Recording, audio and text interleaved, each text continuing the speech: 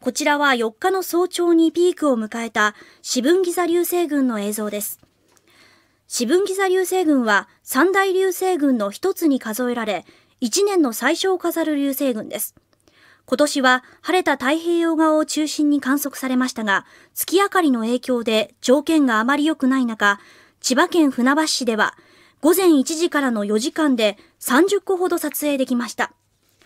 国立天文台によると、次に見られる流星群は4月、こと座流星群だということです。